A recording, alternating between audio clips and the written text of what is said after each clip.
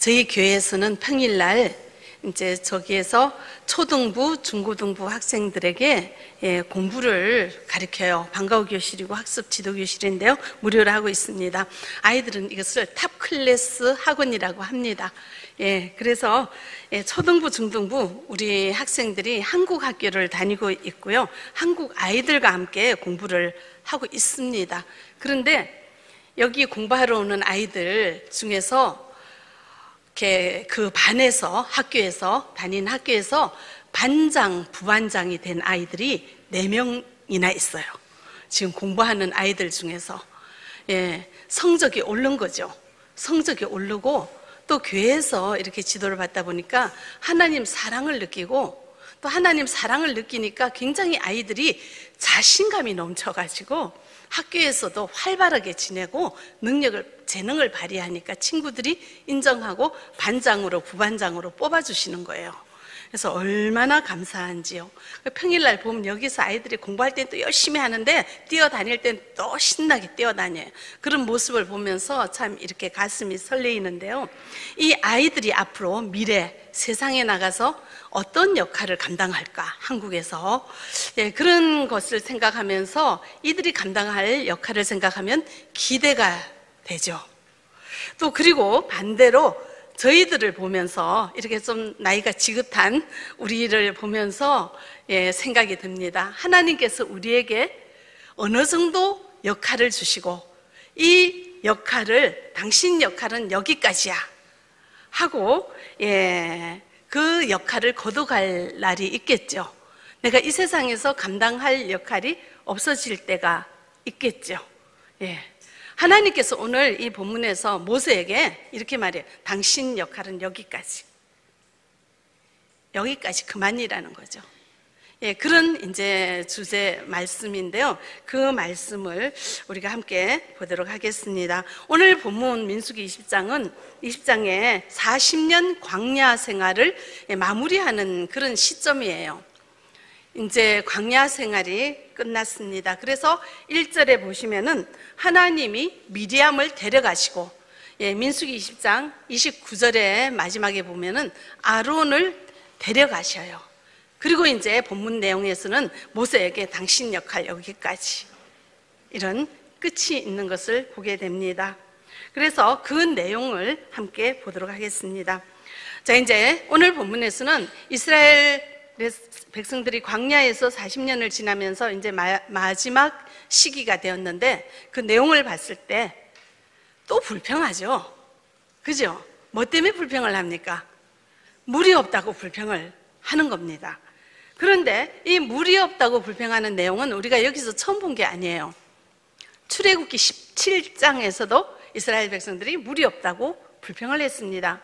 출애굽기 17장은 이스라엘 백성들이 광야 생활을 시작하는 즈음이고 지금은 광야 생활을 마무리하는 즈음에 또한 같은 사건이 일어나는 것을 볼 수가 있습니다. 근데 하나님께서는 이 불평을 들어주시고 해결을 해주셨습니다. 출애굽기 17장 3절 우리 같이 읽어보겠습니다. 거기서 백성이 목이 말라 물을 찾음에 그들이 모세에게 대하여 원망하여 이르되 당신이 어찌하여 우리를 애굽에서 인도해 내어서 우리와 우리 자녀와 우리 가축이 목말라 죽게 하느냐? 이렇게 불평을 했을 때 하나님께서는 그이 말을 들으시고 해결을 해 주셨어요. 5절 6절 보겠습니다. 여호와께서 모세에게 이르시되 백성 앞을 지나서 이스라엘 장로들을 데리고 나일 강을 내 지팡이를 손에 잡고 가라. 내가 호랩산에 있는 그 반석 위 거기서 내 앞에 서리니 너는 그 반석을 치라. 그것에서 물이 나오리니 백성이 마시리라. 모세가 이스라엘 장로들의 목전에서 그대로 행하니라. 하나님께서 이제 모세에게 지팡이를 들고 반석을 쳐라 했습니다. 그래서 모세가 그대로 했고요. 그래서 물이 나왔고 백성들이 이 물을 마셨습니다. 자, 이런 기적들이 얼마나 많이 있었습니까? 광야 생활 40년 동안 하나님께서는 이스라엘 생활 백성들에게 먹여주시고, 입혀주시고, 지켜주시고, 보살펴 주셔서 지금 여기까지 왔습니다. 자, 물이 없을 때 물을 주셨고, 고기가 없을 때 고기를 주셨던 그런 하나님의 역사하심을 경험했습니다. 그러면은 지금 또 부족해요. 그럼 하나님이 또 주신다는 것이 믿어지겠죠? 어때요? 믿어지겠죠? 여러분은 어떻습니까? 경험했잖아요. 하나님이 주신 거 경험했잖아요. 그럼 그것을 믿음으로 기대하고 하나님 이거 없습니다. 또 주세요. 이래야 되는데 어떻습니까? 또 불평을 했습니다. 없다고. 자, 우리는 어떻습니까? 지금 우리가 이 자리에 있다는 것, 우리가 지금 살아 있다는 것, 하나님께서 우리 생명을 보존해 주지 않으면 우리는 이곳에 있을 수가 없습니다. 하나님께서 먹여주시고, 입혀주시고, 지켜주시고, 보호해 주셨기에 우리가 지금 이 자리에 있습니다. 하나님이 함께 하신 그런 경험들 여러분들 기억하시죠?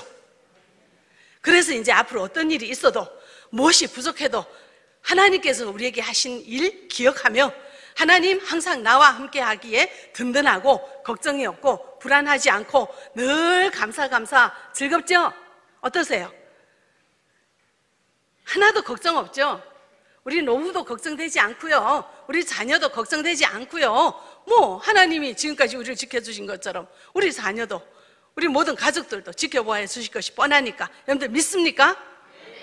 예, 그런 믿음 가운데 있는 줄 믿습니다. 근데 이스라엘 백성들은 그렇게 하지 못했어요.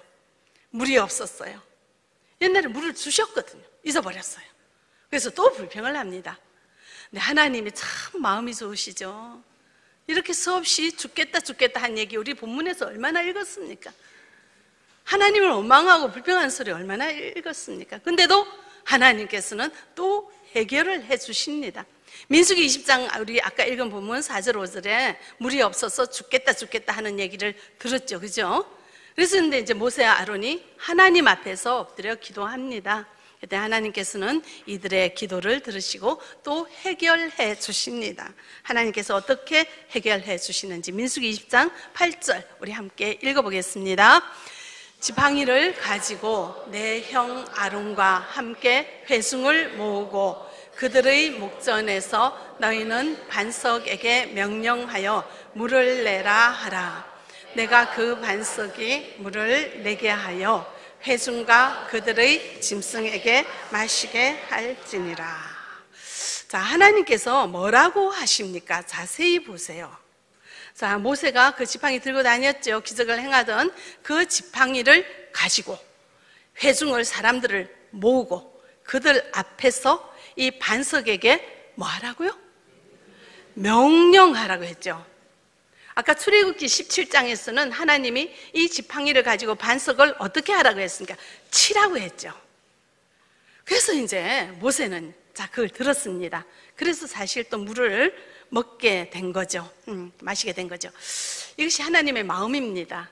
아무리 원망하고 아무리 불평을 해도 계속 하나님은 보살펴 주세요. 왜냐? 사랑이죠. 그런 사랑 오늘 우리에게 주시는 줄 믿습니다. 하나님의 사랑이 있기에 오늘도 우리는 이렇게 존재하는 줄 믿습니다. 네. 여러분들, 근데 그 하나님의 사랑을 여러분들 늘 기억하십니까? 가끔 잊어버립니까? 자, 오늘 아침에 여러분들 교회 나오실 때 예배 드리러 오는 우리가 기대가 됩니까? 설레임이 있습니까? 아니면 아이고 팔다리 허리 어깨 하루 쉬었으면 좋겠는데 또 우리 교구장 전화 오고 또 안 오면 뭐라 하니까 아이고 가야지 하면서 억지로 오셨습니까? 어떻습니까? 어떻습니까? 우리 마음에 주님을 사랑하는 마음이 있으면 사모하며 설레이면서 오겠죠? 근데 의무로 오거나 마지못해서 왔다면 우리 마음 속에 뭐가 없습니까? 하나님에 대한 사랑이 식어버린 거예요. 식어버린 거예요. 자, 그걸 여러분들 판단하시고 예, 진단하시기 바랍니다. 근데 우리의 마음 속에 하나님 우리를 너무 사랑하는데, 이렇게 이렇게 사랑하는데, 하나님 우리 짝사랑하시게 두면 안 되죠. 그럼 어떻게 해야 될까요? 회개하셔야 됩니다. 자, 주님 앞에 엎드려 가지고 날마다 회개하세요, 주님. 제가 주일 예배 가는 것이 설레이게 해 주세요. 그 사모하는 마음으로 갈 수 있게 해주세요. 그걸 놓고 날마다 기도하세요. 그리고 회개하세요. 하나님, 제 마음에 하나님의 사랑이 식어버렸 했습니다. 하나님 용서해 주세요. 하나님은 나를 변함없이 사랑하는데 제가 하나님이 나를 짝사랑하도록 내버려 두고요. 제 마음과 제 눈은 세상에 가 있습니다. 세상을 더 사랑합니다. 세상을 더 사랑하니까 겸하여 섬길 수 없잖아요. 하나님에 대한 사랑이 없어져 버린 거거든요. 그러니까 예배가 무감각한 거거든요. 회개하셔야 됩니다. 회개하셔. 날마다 회개하세요. 그 예배에 대한 간격이 회복될 때까지 회개하시기 바랍니다. 회개하지 않아서 그렇습니다. 기다리십니다. 하나님께서 반드시 날마다 기도하시기 바랍니다. 자, 하나님께서 물을 주신다고 이렇게 해라 저렇게 해라 반석에게 명령하라 말했어요. 이 말을 들은 우리 모세는 어떻게 했을까요? 민수기 20장 10절 11절 우리 같이 보겠습니다. 모세와 아론이 회중을 그 반석 앞에 모으고 모세가 그들에게 이르되 반역한 너희여 들으라 우리가 너희를 위하여 이 반석에서 물을 내라 하고 모세가 그의 손을 들어 그의 지팡이로 반석을 두 번 치니 물이 많이 솟아 나오므로 회중과 그들의 짐승이 마치 마셨. 네. 자, 모세가 어떻게 했습니까? 하나님께서는 명령하래, 말로 하래 했습니다. 근데 모세는 어떻게 했어요? 쳤어요. 몇 번? 두 번. 땅땅. 두 번 쳤습니다. 그래서 물이 나왔어요. 자, 모세는 하나님이 하란 대로 했습니까? 자기 생각대로 했습니까? 경험. 지난번에 쳤잖아요. 그러니까 이번에도 지난번에 한 대로. 자, 모세는 하나님 말씀을 제대로 들었을까요? 하나님이 지팡이를 가지고 아, 지팡이 반석에 하니까 반석 하면서 그 다음 말은 안 들은 거죠. 반석하니까 아, 치라는구나. 혼자 생각을 해버린 거예요. 혼자 이제 상상을 하고 그 과거의 경험대로 했습니다. 이게 잘한 것이 아니죠. 잘못한 거예요. 실수한 거예요. 자, 하나님께서는 우리에게 원하는 것이 뭐냐? 정확한 순종을 원하십니다. 자, 이제 출애굽기에 보시면은 이제 모세에게 이렇게 신의 산에서 여러 가지 율법을 주시잖아요. 너무나 정확하게 여러 가지 구체적으로 명령을 하시는데 특별히 성막을 짓는 것에 대해서도 예, 그냥 증거계는 네모 반듯하게 지어라 이렇게 말하지 않아요. 언약계는 예, 그렇게 말씀하지 않고요. 가로가 몇 규빗이고 세로가 몇 규빗이고 높이가 뭐한 규빗 반, 한 규빗이 한 40에서 50, 45cm 정도 되거든요. 그것을 한 규빗 반을 뭘 하고 하라. 그리고 이제 그 나무는 조각나무로 하되 그 겉에는 순금으로 해라. 이렇게 해요.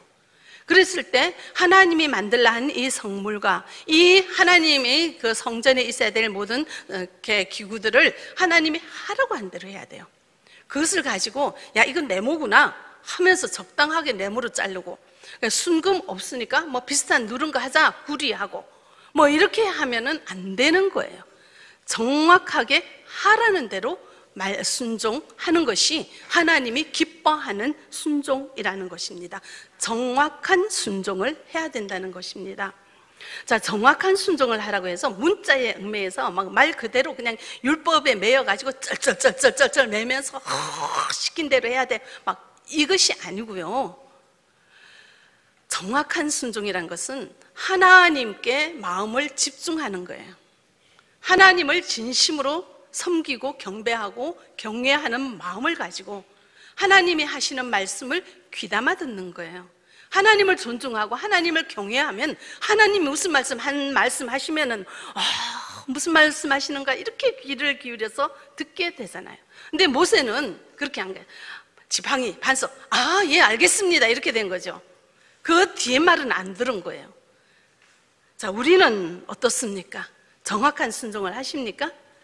집중해서 하나님 하시는 말씀을 귀담아 들으시고 그 말씀에 두렵고 떨림으로 최선을 다해서 순종하려고 애쓰는 그런 마음으로 주님과의 관계가 있어야 된다는 것입니다. 자, 제가 이제 지난번에도 한번 말씀드렸는데 제자반 우리 졸업했죠. 졸업하기 위해서는 1년에 다섯 번까지 결석이 허용이 되고요. 계속 출석을 해야 됩니다. 근데 이제 예, 아주 오래전에 어떤 분이 본인은 매주 못 쉰대요. 한 달에 두 번 쉰대요. 그래서 저에게 제안을 하더래요. 목사님, 저는 한 달에 두 번 교회 나와서 제자훈련을 하겠습니다. 대신에 2년 하겠습니다. 그래서 제가 안 된다고 했어요. 계속 나오셔야 된다고 했더니 말을 했어요. 제가 분명히. 근데 이분이 계속 이제 격주로 나오셔가지고 공부하는데 들어오시는데 1년을 계속 꾸준하게 오시고 2년을 꾸준하게 공부를 하시고 맨 끝에 저한테 목사님 저 졸업해야죠. 그분이 아셨던 거예요. 내 약점을 우기면 해주는 거. 제가 뭐든지 우기면 막 모르, 못 이겨가지고 해드리잖아요. 그러니까 나 이렇게 공부했는데 내가 졸업장 달라면 목사님 줄 거야. 혼자 그렇게 생각을 한 거죠. 근데 제가 그렇게 할 수가 없는 거죠. 그럼 딴 분들이 다 그렇게 하겠다고 하면은 저는 훈련이 안 돼요. 교회의 근간이 흔들리는 거라서 그때는 제가 아주 그냥 아주 단호하게 안 됩니다 얘기했어요. 제가 사실은 마음이 되게 여려요. 그 거절하는 게 되게 어려운 사람 사실은. 근데 제가 이게 거절 안 하고 탁 밀고 나가는 게 얼마나 힘든 일인지 몰라요. 그렇지만 해야 되는 일은 하는 거거든요. 그래서 안 됩니다. 그랬어요. 그때 그분이 좀 시험을 들었는지 한동안 뜸하다가 그 다음에 또 1년 공부를 해서 졸업을 했습니다. 3년 했습니다. 예, 규칙대로 해야 돼요. 그죠? 원칙대로 하는 게 우리 신앙생활의 기본이라는 거, 그 교회에서 배우는 거잖아요. 그죠? 예, 우리 하나님 무슨 말씀을 하시는지 정확하게 듣고 정확하게 순종하는 은혜가 있어지기를 바랍니다. 자, 우리는 신앙생활 과연 그렇게 하나님 말씀하시는 말씀에 집중해서 듣고 최선을 다해서 순종하고 있는지요? 말씀 따라 순종하고 있는지요? 우리 한 예를 보겠습니다. 자, 레이기 23장 10절 우리 같이 읽어보겠습니다. 이스라엘 자손에게 말하여 이르되 너희는 내가 너희에게 주는 땅에 들어가서 너희의 곡물을 거둘 때 너희의 곡물의 첫 이삭 한 단을 제사장에게로 가져갈 것이요. 예, 이 말은 가장 먼저 주님께 드릴 예물을 구별해 놓으라는 거예요. 첫 것을 드리라는 거예요. 쓰고 남은 걸 드리는 게 아니라 첫 것을 드리라는 것이 우리가 신앙생활의 가장 기본이에요. 그래서 어떤 집사님이 집사님 이제 신앙생활 하고 이렇게 잘 이렇게 많이 훈련 받으셔가지고 이분은 월급을 타면은 가장 먼저 주님 앞에 기도하면서 너무 감사하대요. 하나님께서 일할 수 있는 건강을 주시고 또 일자리를 주시고 소득을 주신 게 얼마나 감사해서 하나님께 주님 앞에 딱 거룩하게 11조도 구별하고 주일헌금도 구별하고 그리고 감사 헌금까지 다 구별해서 맨 처음 하나님께 드려요. 근데 그럴 때 너무너무 설레이고 기쁘대요. 근데 어떤 집사님은 어떤 우리 성도님은 저한테 그래요. 목사님 이번 달에 제가요 얼마나 바빴는지요? 이 집에 결혼식 저 집에 환갑 저 집에 돌 장례 부서가 얼마나 많이 나갔는지요? 그래서요 돈이 없어가지고요 이번 달은 못 드려요. 하나님이 내 형편 아실 거 아니에요. 하나님이 아시죠 그 형편. 그래서 이해하세요. 그러나 하나님은 아시죠 그분의 마음이 세상이 첫째이고 하나님이 두 번째라는 것을 하나님은 아시죠. 하나님은 우리에게서 두 번째 자리에 슬그머니 끼어 앉아 있기를 원치 않으세요. 우리 첫 번째 자리에 있기를 원하십니다. 먼저 그의 나라와 그의 여의를 구하라고 하시잖아요. 근데 어떤 분은 참 이 믿음이 좋으시고 배려가 많으시고 베푸는 걸 좋아하셔서 무슨 일이 있으면 굉장히 잘 베푸시고 뭐 이렇게 따뜻한 걸 잘 나누세요. 근데 그걸로 끝이에요. 감사헌금을 안 하세요. 왜냐? 하나님은 안 보이고 앞에 보이는 사람이 더 그 눈을 이렇게 하기가 어렵잖아요. 사람한테 관계하고 베풀고 주는 게 참 즐겁죠. 또 그렇게 하니까 하나님 앞에 드릴 게 없으니까 하나님 아시죠. 자, 우리가 신앙생활의 기분은 무슨 일이 있으면 기쁜 일이 있거나 즐거운 일이 있거나 축하할 일이 있거나 이런 일이 있으면 하나님 앞에 먼저 감사 예물을 드리는 거예요. 그 어떤 것보다, 그 어떤 것보다 제1로 주님 앞에 예물을 드리고 그리고 그 다음에 하나님 주신 소득과 수입으로 이 세상에 적절하게 알뜰하게 굉장히 보람있게 그것을 사용하는 것이 예, 우리 주님이 우리에게 원하시는 것이라는 것을 기억하시기 바랍니다. 네. 자, 우리는 주님이 말씀하시는 대로 순종하고 있는지 돌아보시고요. 자, 모세가 지금까지 너무너무 순종했잖아요. 그, 여, 그, 정말, 정말 말 안 듣고, 틈만 나면 죽겠다, 틈만 나면 애굽으로 가겠다, 왜 우리를 여기서 죽이를 하느냐, 뭐가 없다, 뭐가 없다 하는 그 수많은 군중들을 지금까지 그 바로 앞에서 열 가지 기적을 행하면서 홍해의 기적을 보면서 그 시내산 광야를 지나서 이제 이제 가나안 땅을 앞두고 있습니다. 이제 끝날 때가 됐어요. 이런 모세가 사실은 예 실수한 거죠. 순종을 안 했잖아요. 뭐라고 했습니까? 명령하라 했는데 어떻게 했어요? 반석을 쳤잖아요. 그러니까 예, 예, 이 하나님께서는 예, 이 모세에 대해서 되게 섭섭하죠. 그런데 우리가 먼저 모세가 그렇게 말씀에 불순종하게 된 것은 그 마음에서 드러나 행동은 마음에서 나옵니다. 그렇게 행동한 모세의 마음이 어디에 있는지 우리 보겠습니다. 10절 보죠. 여기 보시면은 예, 두 번째 줄에 보시면은 모세가 그들에게 이르되 이스라엘 백성들에게 말을 합니다. 뭐라고 말하냐면은 반역한 너희여 들으라. 이스라엘 백성들이 반역한 너희들이 하나님께서 이스라엘 백성들에게 반역한 너희라고 얘기는 하지만 이 본문에서는 하나님이 이스라엘 백성들에게 이런 말 안 했어요. 근데 모세가 이스라엘 백성들을 반역한 너희라고 하는 것은 모세 마음에 감정이 생겼어요. 40년 동안 너무 힘든 거죠. 근데 또 죽겠다고 하니까 이제 감정이 확 생겨버려가지고 막 이제 화를 내는 거잖아요. 반역한 너희여 내 말을 들으라. 이렇게 화를 냈어요. 자, 그래서 모세의 마음에 화가 나 있는 것을 알 수가 있고 좀 지쳐 있는 것을 알 수가 있어요. 그리고 이제 그 다음 구절에 보시면은 우리가 너희를 위하여 우리가 너희를 위하여 우리라는 것은 모세 아론이에요. 하나님이 너희에게 물을 주는 것이 아니라 누가 물을 준다고요? 내가 나 위대한 지도자 모세네. 그리고 우리 형 아론이 폐역한 너희들, 말 안 듣는 너희들에게 이제 그렇게 죽겠다고 하는데 물을 줘서 마시게 할 거야. 이거죠. 자, 여기에서 모세의 마음에 뭐가 들어갔습니까? 교만이 들어갔어요.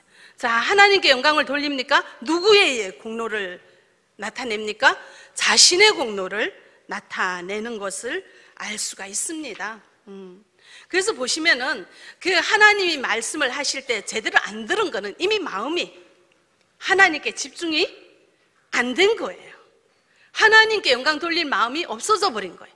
교만하고 하나님을 약간 제쳐버리는 하나님이 그렇게 중요하지 않게 돼버린 내가 내가 내가 누구야? 나 위대한 지도자 모세야. 내가 지금까지 너희들을 이렇게 했잖아. 그래서 내가 너희들에게 물을 줄 것이야. 이런 마음으로 지금 말을 하고 있어요. 그러니까 하나님께 집중하지 않는 마음으로 하나님의 말을 들었기 때문에 하나님께서 지팡이를 가지고 반석에게 이럴 때 아 네 알았어요. 거기까지 듣는 거죠. 명령하라는 말이 안 들어간 거죠 예. 자, 그래서 하나님께서는 이런 모세의 태도에 대해서 굉장히 진노하셨어요. 12절 우리 같이 읽어보겠습니다. 여호와께서 모세와 아론에게 이르시되 너희가 나를 믿지 아니하고 이스라엘 자손의 목전에서 내 거룩함을 나타내지 아니한 고로 너희는 이 회중을 내가 그들에게 준 땅으로 인도하여 드리지 못하리라 하시니라. 자, 하나님께서 진노하신 것이 첫 번째, 너가 나를 믿지 않았다. 자, 두 번째, 너는 나의 거룩함을 나타내지 아니었다. 영광을 나에게 돌리지 않았다. 네, 네가 잘한 것으로 생각했다. 네 공로를 네가 가져갔다. 모세가 가져갔다고 해서 진노하시고, 그래서 모세에게 하시는 말씀이 뭐라고 합니까? 내가 그들에게 준 땅으로 인도하여 드리지 못하리라. 이 말은 너는 가나안 땅에 들어가지 못하리라.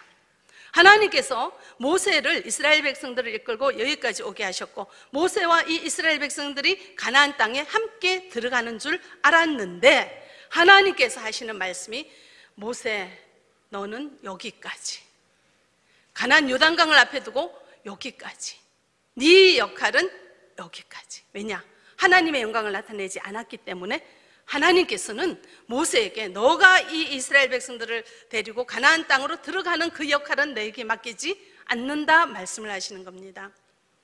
이 구절을 보면서 참 두렵기도 하지만 하나님께서 왜 이렇게 하실까 하는 생각을 또 해봅니다. 하나님이 우리에게 주시는 교훈이 있습니다.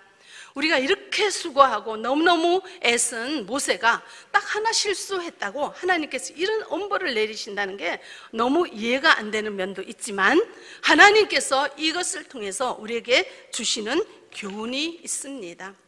하나님 나라의 일은 아무리 위대한 지도자일지라도 사람은 한낱 피조물에 불과하다는 것입니다.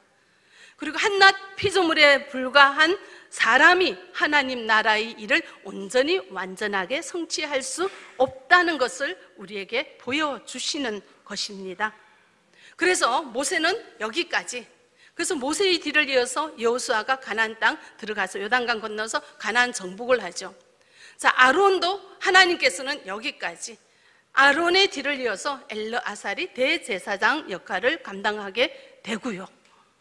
자, 하나님 나라는 하나님께서 하실 사람을 부르십니다. 하나님께서 역할을 주십니다. 하나님께서 여기까지 하면 그만둬야 하는 것입니다. 우리는 한낱 피조물에 불과합니다.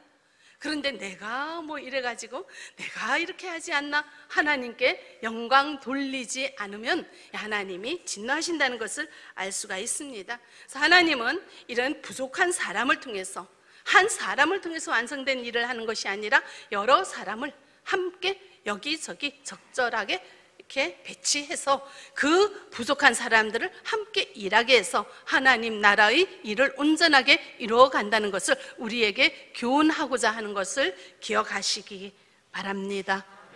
우리도 언젠가는 하나님께서 말씀하시게 당신은 여기까지. 당신의 역할은 여기까지. 자, 그런데 우리 지금 하나님이 우리에게 역할 주셨죠? 할 일이 많죠? 여러 가지 개인적인 일도 있고 가정에서 일도 있고 가족들을 끌고 생존을 위해서 해야 되는 일도 있습니다. 여러 가지 일이 있습니다. 그 일들은 하나님께서 우리에게 역할을 주시고 우리를 사용하고 계신다는 것을 깨달으시기 바랍니다. 그 짐들이 너무 무겁습니까? 언제 내가 이 짐을 벗어버릴까? 언제 내가 조금 편하게 할까? 하나님께서 반드시 얘기해요. 당신은 여기까지 하면 그때는 안 하셔도 됩니다. 그땐 저 영원한 천국에서 편안하게 사시면 됩니다.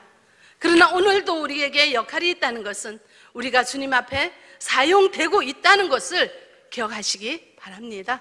아무리 위대한 지도자라도 하나님께서는 그 사명을 끝을 낼 때가 있다는 것이고 이 부족한 사람 여러 명을 통해서 이어서 이어서 이어서 하나님께서 하나님 나라의 일을 예, 이뤄 간다는 것을 기억하시기 바랍니다. 근데 우리는 하나님 나라의 일을 좀 하다가 좀 일이 잘 되고 내가 잘한다 싶으면 어깨가 뿡뿡 올라가요. 내가 말이야. 내가 이렇게 했어. 내가 이렇게 전도를 했어. 내가 뭘 했어. 막 이렇게 뿡뿡 올라가요. 그죠? 예. 그러면서 또 생각을 해. 착각을 해요. 나 아니면 안 돼. 내가 있어야지 여기 잘 돼. 근데 하나님께서는요, 다른 사람 세워서도 합니다. 그 위대한 지도자 모세를 여기까지 일하게 하시고 여호수아를 세워서 나머지 일을 하시잖아요. 그죠? 그래서 하나님 나라 일은 하나님이 하십니다. 내가 잘나서 내가 하는 게 아니라는 거예요. 그러나 오늘 역할이 있습니까? 사명이 있습니까? 하나님이 나를 사용하고 계신다는 것 기억하시고 자, 그러면 우리가 그 역할을 감당할 때, 사명을 감당할 때 어떻게 해야 될까요? 정확한 순종을 하셔야 됩니다. 하나님에게 마음을 집중하시고 하나님을 경배하시고 경외하시고 존중하시면서 하나님이 하시는 말씀을 집중해서 들으며 두렵고 떨림으로 그 말씀에 최선을 다해서 순종하는 것이 사명자인 우리가 역할을 맡아 있는 우리가 오늘 해야 되는 일임을 기억하시기 바랍니다. 오늘도 살아있음에 감사하십니까? 사명 있음에 감사하십니까? 그것을 어떻게 감당할지 고민하시고 피조물인 우리는 주님 앞에 뻐길 것이 없습니다. 한낱 부족한 피조물입니다. 주님 앞에 고백하시고 엎드려 회개하시고 오직 주님 말씀에 정확하게 순종하는 우리가 되어지기를 바랍니다.